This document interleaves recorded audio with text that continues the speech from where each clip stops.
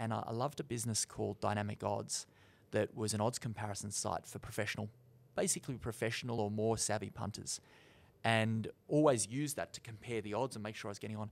I thought, well, what about if I can give to the people that are on my app and on website that are getting the tips, if I can provide an in-app, basically like the Trivago or the Bookings.com of betting with inside the app. So, so just so I can put it in um, my terms, maybe punters, everyone else's terms, pardon the pun, aggregate on one place all the odds that you can get on a horse in a particular race, for example. Exactly across all the different because there's like Yeah. 20, 20 plus corporate bookmakers, and everyone knows.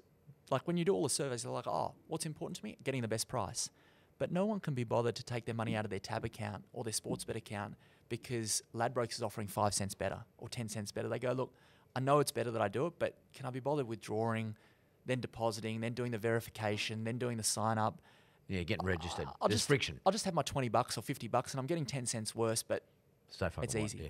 And I thought, well, if I can give a seamless thing that they've got one sign up, one password, one verification process, and they just come to the app and they can bet across wherever's the best, well, they might bet on Ladbrokes for half their bets, and they might bet on Sportsbet a quarter of them, they might bet on Tab some of them, but they're actually going to be all the time giving themselves that little bit more of an edge, and um, and that's what we uh, aim to do, and, and it's only just started, but it's be- proved really popular. in Just the tell us what, what it's called. Though. So It's Oh, Tom it's just Tom Water in the App Store. You just go to Tom Waterhouse Just or go to Tom tomwaterhouse.com or yeah, it's just Tom Waterhouse. And is it a free sign up or you pay it? it's free, yeah. Free sign up. Uh, and, and then you subscribe though. you, if you want the tips, you Yep. can get tips for free. Yep. But if you want to get like as the packages go up, you pay for the tips. But